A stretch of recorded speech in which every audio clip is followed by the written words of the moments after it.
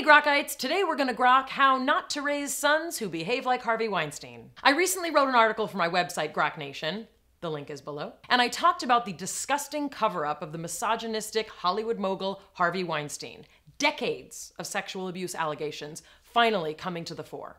The take home message was that I'm really not surprised that this happens. I assume it happens all the time. That's just what power and patriarchy look like, and it sucks. And I got into a few skirmishes with people very close to me who thought that I should be outraged and shocked. And I am outraged, but I'm really not shocked. I dismiss these friends of mine as optimistic Pollyanna types who just don't really know what it's like in my industry. And I went about my day. But then my friend, Avital Norman Nathman, who's also one of our Grok Nation editors, said something to me that did shock me. She said to me, Will your boys be like this? And I was shocked. I said, she mean? Oh. She was asking if, God help me, I'm raising boys who will become men that girls and women will fear.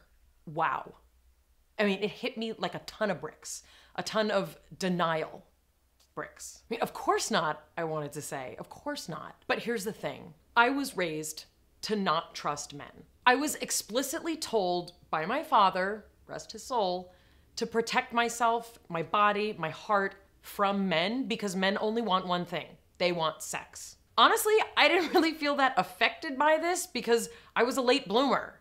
Maybe that's why I was a late bloomer. But anyway, throughout my entire life, my experience has been hearing about girls and women getting their hearts broken because guys only wanted one thing sex. I have yet to meet a man, even the nicest ones, who said that they were not motivated by their desire to have sex with a woman. Like, that's a thing. Even nice guys, like, they really wanna have sex. And mind you, my father was faithful to my mother for 53 years of marriage. And I was raised with this notion of you get married as a virgin, you stay married to one person the rest of your life, you're happy or you're not, you die, end of story. Like that was considered normal for me.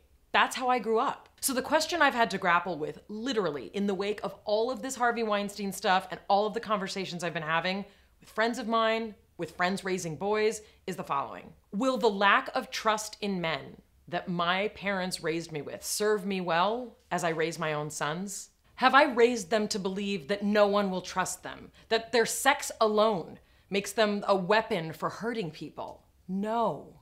My boys will be different and yours will be too. Here are the things I didn't even realize I'm already doing to ensure that girls and women do not fear my sons. Number one, equality. I teach my boys that everyone is virtually the same meaning we all have the same hearts. We have the same chemistry. We have the same desire to be loved and respected and protected.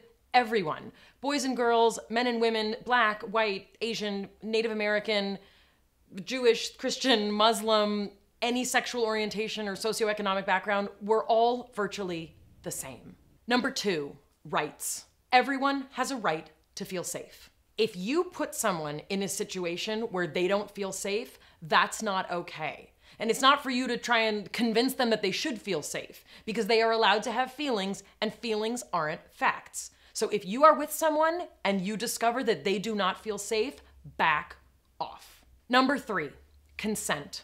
I have already started talking to my sons about this and will continue to do so.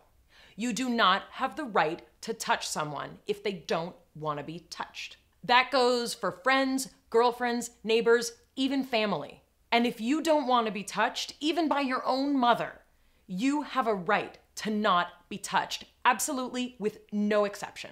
Number four, common sense. I really can't believe I have to say this, but I do, and we do. We all have to say this. It is never okay to be intimate or touch someone who is under the influence of drugs or alcohol to the point that they cannot give consent ever, never. Number five, location. You are responsible for where you are. If you are in a place where there are bad things going on, leave and report it. If you see people who are grossly intoxicated, throwing up, passing out, leave. Strip clubs and places where people get paid to have sex, don't go there. It is your responsibility to protect a man or a woman that you see in a dangerous situation. Get out, get help, call the police. That's on you. Number six, ingesting. Scientifically speaking, the human brain doesn't really behave with great judgment in the teens and even into the 20s. Once you add alcohol or drugs to that brain, a lot of decisions made with poor judgment can happen.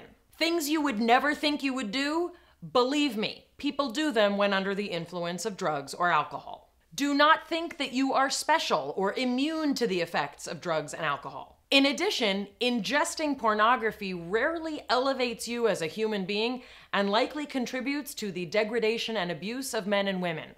Period. Number seven, daily. Every single day, respect people that you interact with, but specifically, pay special attention to those who have not been appreciated or represented historically. Women, people of color, our lesbian, gay, bisexual, transgender, queer, and questioning friends, and people of different socioeconomic statuses are the ones most affected by what we call patriarchy. We are all humans on this planet, and there are a lot of bad people. But it is your job, it's my job, it is our job to do better than we can even imagine because we have inherited a broken world and it is our job to fix it.